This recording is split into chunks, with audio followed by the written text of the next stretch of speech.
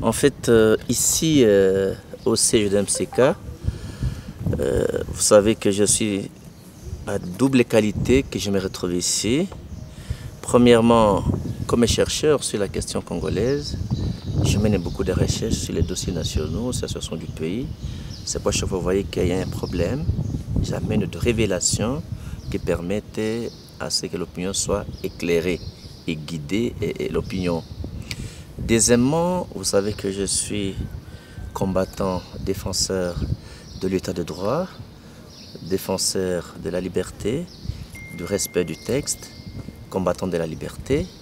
Et vous savez que j'ai sacrifié toute ma vie pour l'état de droit.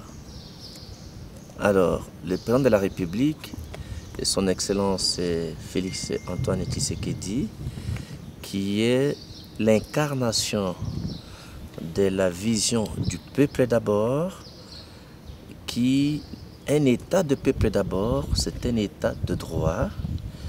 Et nous avons suivi à Kinshasa que MCK a été réhabilité et je suis venu réaliser l'effectivité de voir si MCK a été réellement réhabilité, c'est-à-dire que MCK a récupéré euh, son entreprise son siège et je voulais voir effectivement qui sont, qui occupent et qui sont là.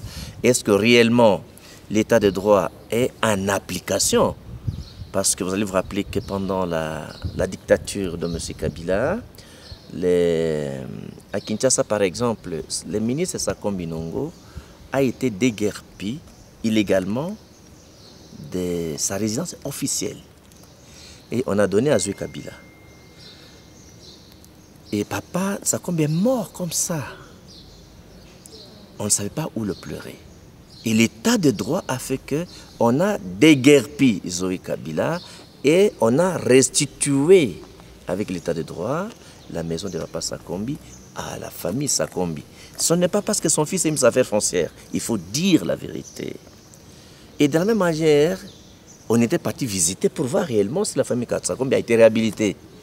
De la même manière, au Katanga, tout le monde sait que MCK, c'est la société du président Moïse Katumbi qui a été spoliée au regard des menaces politiques qu'il a eu contre le régime. Et lorsque nous avons suivi à Kinshasa et dans les médias que MCK a été réhabilité sur le terrain, il a fallu qu'on vive l'effectivité. C'est réellement MCK a été réhabilité. Alors, c'est ça la motivation principale, voir l'effectivité de l'état de droit si réellement la justice congolaise a permis à l'honorable Moïse Katumbi de rentrer dans ses droits, de récupérer sa société. Ça, c'est le premier élément. Cet élément complète la recherche que je suis en train de mener également sur son dossier. Euh, les recherches jusque-là, qui ne sont pas encore à la fin, mais à ce stade, j'ai mené des recherches pour comprendre c'est quoi les conflits ici. Et dans les recherches que nous avons menées, nous avons compris, on a suivi par RFI également, que le MCK de Moïse Katumbi, avec qui il a eu bien avant les engagements avec Necotrans, et M. Bevegardi, comment on l'appelle? M. Pascal Beveragui, qui n'a pas été ni membre de MCK comme actionnaire, ni actionnaire Necotrans. Donc, c'est un travailleur de MCK qui, par la magie de la fraude, se retrouve comme adversaire en précipitation avec les vrais propriétaires. Dans les recherches, je suis parvenu à découvrir même les salaires que Moïse Gatumbi le payait comme agent. Et je suis parvenu à entrer en contact dans mes recherches avec la personne qui l'a recommandé comme travail chez Moïse Gatumbi. Donc nous allons publier les résultats de nos recherches. Ce qu'il faut noter maintenant, c'est que le monsieur B. Beveragui, monsieur Beveragui, jusque-là, est un corps étranger MCK et Necotrans. Necotrans est une entreprise avec une femme est propriétaire à 100% d'action. Dans les recherches, elle a 100% d'action. Donc, le monsieur n'a même pas 0,001%, il n'a pas. Google, même seulement Nécotrans, n'a Google, vous avez trouvé qui est l'actionnaire principal. Le monsieur n'a même pas 1,000%, il n'y a rien, c'est un étranger. Et on ne comprend pas par quelle magie, il devient quelqu'un qui se bat pour la propriété ou la copropriété de MCK. Donc si le Moïse Katumbi devait avoir un procès, devait avoir un conflit, c'est avec Nécotrans. Mais Moïse Katumbi est à bon terme avec Nécotrans. Ils n'ont pas de problème. C'est comme ça qu'au niveau, pendant la turbulence de Moïse Katumbi dans que nous avons mené, au niveau de, de l'Europe, parce que le monsieur, c'est un Français. Alors, ils ont eu un procès au niveau de l'Europe à France, jusqu'à la Cour de cassation, et Moïse Katumbi a gagné dans les deux instances à France. C'est comme ça que le gouvernement français, l'État français, la justice française ne fait aucun problème. Et au Congo, ce n'est pas la justice congolaise qui a tranché les conflits. Ça, il faut mettre la situation clairement. Ce n'est pas la justice congolaise qui a tranché, c'est la justice française qui a tranché. Et en France, il n'y a aucun problème. Au Congo, on n'a fait qu'exécuter la décision prise à France. Ça s'appelle les clauses exécutoires. Hein? Et c'est comme ça qu'on a fait ça. La justice congolaise a examiné, a donné raison à Moïse Katumbi et on a exécuté la décision qui était prise en France. C'est comme ça qu'aujourd'hui, je, vérifie l'exécutif. Vraiment, je, je viens de découvrir exactement l'effectivité de l'état de droit où Moïse Katumbi est réhabilité.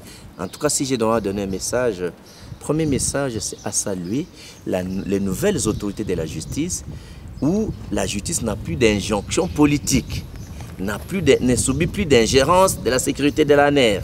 Donc, les autorités de la justice congolaise ont et ont réhabilité Moïse Katumbi. Donc, mon premier remerciement, c'est aux autorités de la justice qui ont dû le droit, qui ont exécuté le droit en réhabilitant M. Katumbi dans ses droits. De deux, à tout seigneur, tout honneur, à son Excellence, Monsieur le Président de la République, Félix Antoine Tshisekedi, qui, pendant qu'il est le Président de la République, il a laissé la justice faire son travail. Et il est en train de réhabiliter la justice. Donc c'est l'effectivité de l'état de droit. Je remercie et je bénis son Excellence le Président de la République de cette volonté du peuple d'abord de laisser la justice, parce que c'est la justice qui élève une nation. Donc réellement, l'état de droit est en marche. Mais vous savez que au parti, dans mon parti MLP, j'enseigne un principe. La vérité n'a pas besoin de béquilles. C'est-à-dire qu'on ne soutient pas la vérité. La vérité, c'est Dieu. À aucun moment dans un état de droit, les mensonges peuvent vaincre la vérité. Je ne vois pas, quel que soit l'appui des forces de ténèbres, quel que soit l'appui des forces de ténèbres, je ne vois pas comment cette entreprise pendant que Félix Tshisekedi est président de la République, dans un état de droit, comment on peut les déguerpir? C'est impossible. Ça, ça appartient au passé. Ça, c'est à l'époque des trafics d'influence. Il faut voir la il faut voir un général, il faut passer par la corruption. Ici, c'est l'état de droit. Donc, toutes les tentatives là, encore, ne réussiront pas et ne réussiront même jamais. Parce qu'en fait, la matrice principale, la base du dossier, c'est le jugement arrondi en France. Mais le message contesté, c'est moi, vous avez compris mon message. Le message contesté, le, premier jugement, le jugement du premier juge, il a contesté jusqu'à la Cour de cassation. Et la Cour de cassation française a confirmé l'œuvre du premier juge. Donc au niveau de la justice, les fonds, il n'y a plus de problème. Ce sont dans les dilatoires qu'on cherche de voir si on peut faire le travail d'influence, aller raconter, nous sommes au courant, aller rencontrer les ministres.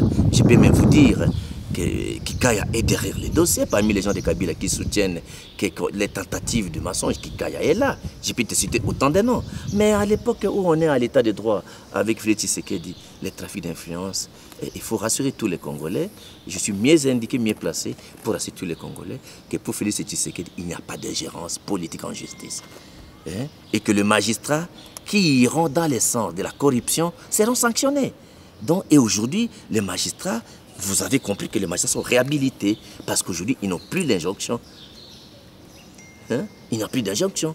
Donc, il faut remercier le, chef de l'État qui a laissé installer l'état de droit. Ici, en fait, au lieu d'avoir la crainte, il faut remercier le chef de l'État parce que vous vivez ici l'effectivité de l'état de droit. Hein? Vous vivez l'effectivité de l'état de droit. Et vous n'allez pas empêcher un sorcier d'ensorceler. Ce n'est pas pour autant que Dieu ne peut pas l'anéantir. Voilà pourquoi il fallait un état de droit. Et nous avons fait des prisons, nous avons fait des exils pour cet état de droit. Ce qui appartient à autrui, il faut les laisser bénéficier, jouir de ses propriétés. C'est ça l'état de droit.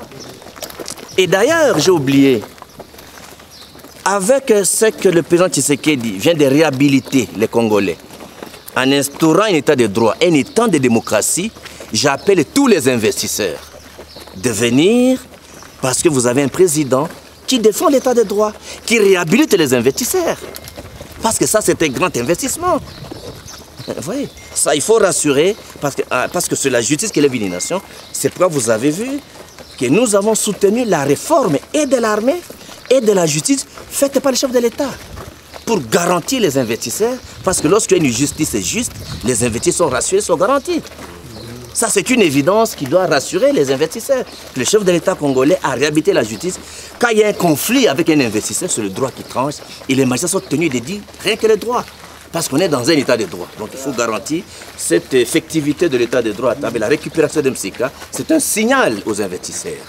Un message aux investisseurs pour pouvoir être rassurés qu'au Congo, au Congo, vraiment, l'état des droits est en marche. Et le président de la République est le garant de cet état de droit. Et qui nous a mené cet état de droit et cet état de droit. Le MCK aujourd'hui, en fait, c'est le bien de Moïse Katumbi qui a été mal acquis par Beveradi. Je n'ai même pas prononcé son nom. Alors, qui est restitué au propriétaire. C'est un bien mal acquis, spolié, un bien de Moïse Katumbi qui lui a été spolié, qui est restitué à son propriétaire Moïse Katumbi par l'état de droit. Hein?